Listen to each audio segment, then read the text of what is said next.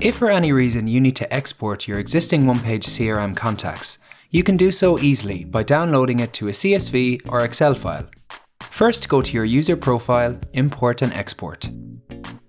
On the Export to File section, select Contacts. First off, you can select from the options the type of data you want to export.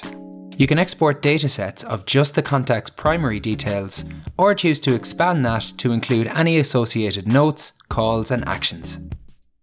Aside from exporting all contacts in your database, you can also specify by tag, status, and location, just to name a few. Choose your format of CSV or Excel and start your export.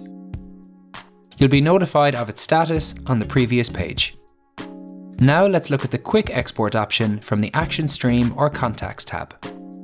If you want to quickly export a number of contacts from here, simply select the contacts manually, which will open up the Bulk Update menu. In the More drop-down menu, hit Quick Export.